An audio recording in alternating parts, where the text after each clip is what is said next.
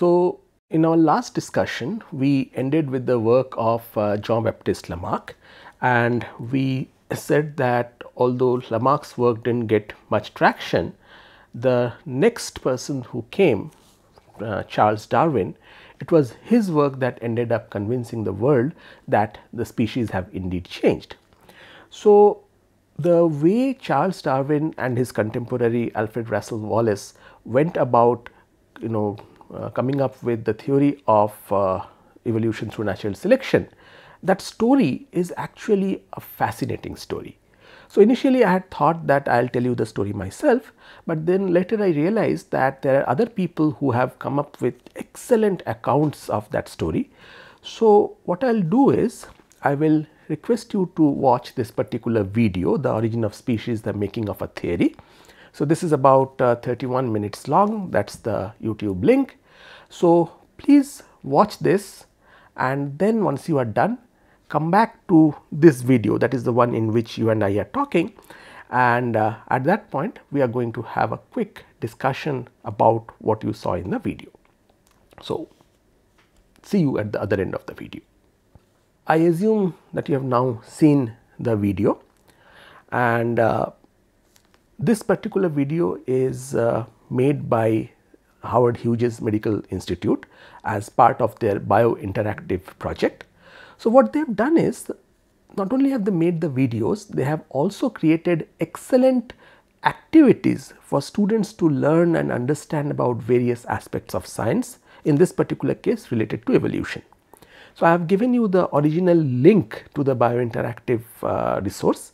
There are quite a few fun activities over there.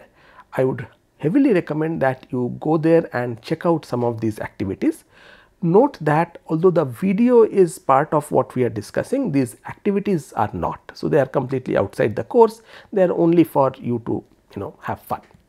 The other point that I want you to note here is how Darwin and Wallace ended up treating each other during the discovery of this uh, evolution uh, through natural selection.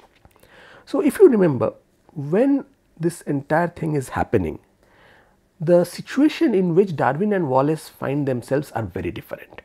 Darwin is already famous, he is rich and he is sitting in London which is like the epicenter of uh, science in those days. On the other hand, Wallace is basically a nobody, he is poor, he is just a collector and he is sitting in the jungles of Malaya you know about uh, almost on the other side of the globe. So, when Wallace's letter arrives at Darwin's doorsteps, Darwin could have very easily just suppressed the letter and taken the entire credit for himself. In this particular case, given that Darwin had already worked the whole thing out, therefore, there was all the more reason for him to do that.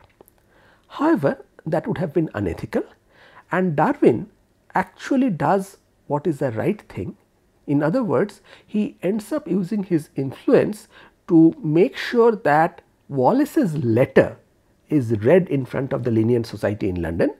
And along with that as an independent thing he ends up getting one of you know abstracts of one of his uh, not an abstract a summary of one of his uh, earlier essays also read during the same meeting.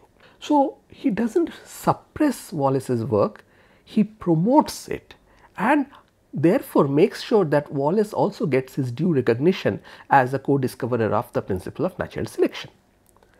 Now, how does Wallace behave under the same scenario? Very interestingly, Wallace also behaves with a lot of honor. So, when Wallace comes back and understands, you know, looks at Darwin's work and understands the fact that A, Darwin got there earlier and B, Darwin had actually put in a lot more effort he had put in a lot more evidences to convince everybody that evolution did happen in that particular way. And therefore, because Darwin had done more work, Wallace then goes out of his way to actually associate the overall theory with Darwin's name and therefore explicitly titles his book as Darwinism. So, this is a great example of two great minds fully respecting each other's contribution and not really trying to put the other person down. Now, I wish I would have I could have said that every single scientific uh, you know interaction between great minds were like that unfortunately not. Uh, in fact, in science probably there are more examples of people fighting bitterly for getting precedence in terms of putting their names uh, to a theory. But given that this particular example of Wallace and uh, Darwin treating each other with respect comes out as a shining beacon of how these kind of things should be dealt with. Anyway, so you saw how Darwin and Wallace reached the theory, but you did not really get a good chance to see what exactly the theory was.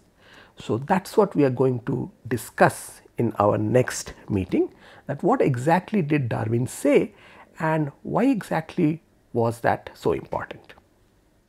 Next meeting.